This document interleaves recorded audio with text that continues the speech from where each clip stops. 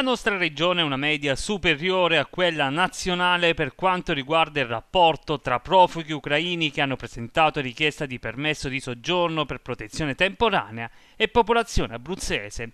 Una grande ospitalità resa subito operativa grazie alle tante strutture ricettive che si sono fatte trovare pronte con l'arrivo del flusso migratorio a seguito dell'invasione russa. Sì, il numero è ancora elevato, a parte qualche ricongiungimento familiare comunque non, non, accenna a scendere perché ci sono ancora arrivi e vediamo come sarà la situazione in futuro perché non mi pare che si stia calmando in generale la, guerra purtroppo. Per quanto riguarda invece i pagamenti alle strutture ricettive stanno arrivando in maniera regolare?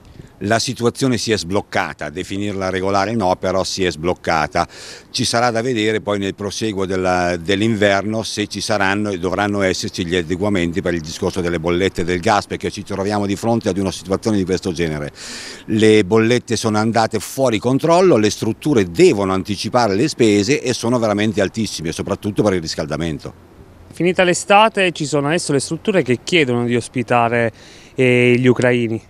Qui il discorso si riallaccia con eh, il turismo in generale, diciamo di sì, c'era una grande preoccupazione per l'estate che alcune strutture avrebbero voluto essere più libere, mentre invece proprio già a fine estate c'è stata una maggiore richiesta della possibilità di ospitare gli, gli ucraini proprio per un discorso di prezzi e per un discorso di salvaguardare la redditività aziendale messa a dura prova quest'anno dal pricing, dalle, dalle bollette e da tante altre situazioni. I profughi ucraini che hanno presentato richieste in Abruzzo sono stati distribuiti soprattutto in provincia di Teramo, seguita da Pescara, L'Aquila e quella di Chieti. La provincia di Teramo è quella più strutturata, è quella che ha il maggior numero di strutture, maggior capacità di accoglienza, è stata ampiamente erodata purtroppo nel corso degli anni da eventi sismici di tutte le situazioni, per cui diciamo che abbiamo questa capacità di affrontare la situazione.